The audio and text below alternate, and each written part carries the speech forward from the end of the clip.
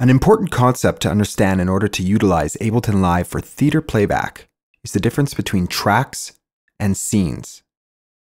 Here we can see an Ableton Live set with four audio tracks and five scenes. The four audio tracks are easy to identify as they run vertically.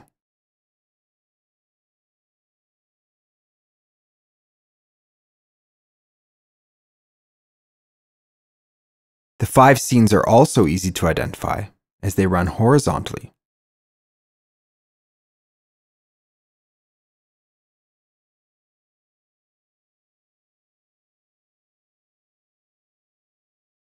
Tracks vertically, scenes horizontal.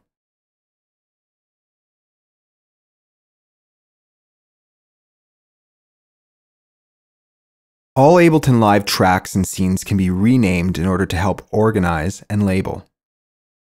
Here I will rename all four audio tracks by selecting the track header, right-clicking, and selecting Rename, or by using the key command Command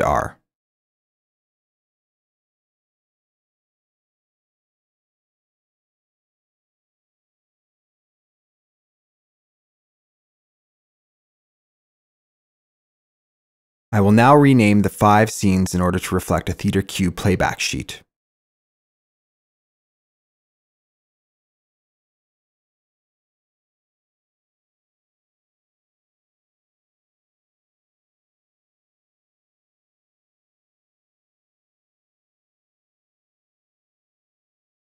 Modifiers can be added to the scene names in order to control global transport control parameters such as BPM,